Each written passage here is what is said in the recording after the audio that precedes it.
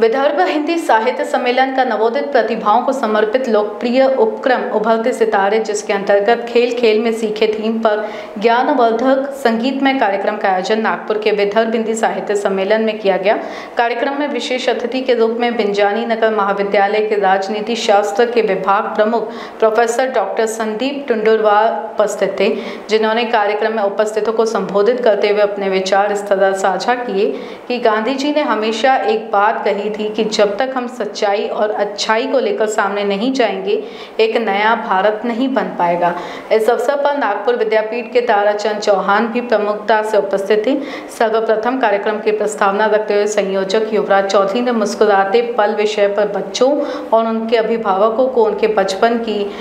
यादें ताज़ा की। साथ ही उन पलों में अपने मुस्कुराया होगा, ये बात कही संयोजक वैशाली मदारे ने भी थीम पर अपने अनुभवों को साझा किया, जिसके बाद बच्चों ने इस थीम पर अपने विचार रखते हुए अपनी सुंदर कला का प्रदर्शन कर सबको मंत्रमुग्ध किया।